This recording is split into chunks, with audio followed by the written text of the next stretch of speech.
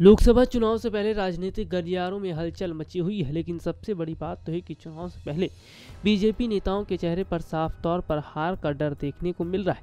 इतना ही नहीं, पीएम मोदी खुद चुनाव को लेकर काफ़ी डरे हुए दरअसल ये बात हम इसलिए बोल रहे हैं क्योंकि बीते दिनों पीएम मोदी ने बीजेपी के अधिवेशन में कहा था कि जनता को तय करना है कि अब की बार किस सरकार को लाना है, मज़बूत एनडीए को या फिर कमज़ोर विपक्ष को। पीएम मोदी की इन बातों से साफ़ पता चलता है कि चुनाव से पहले उन्हें भी जनता का मूड समझ में आ गया वैसे चुनाव से पहले पीएम मोदी तिकड़म लगाने में लगे हैं। किस तरह से चुनाव में जीत हासिल की जाए? इस बात को ध्यान में रखते हुए उन्होंने तमिलनाडु में ए आई से गठबंधन करने के लिए कदम उठाया बीते दिनों देखने को मिला था कि आई ने भी इस गठबंधन पर कोई एतराज़ नहीं जताया था। अब देखने वाली बात तो यही की तमिलनाडु में बीजेपी को इस गठबंधन से कितना फ़ायदा मिलता है। वैसे आपको बता दें, कुछ समय पहले ऐसी खबरें सामने आई थी जिसमें देखने को मिला था कि अब की बार बीजेपी को बहुमत नहीं मिल पाएगा। एस न्यूज़ रूम से राहुल की रिपोर्ट।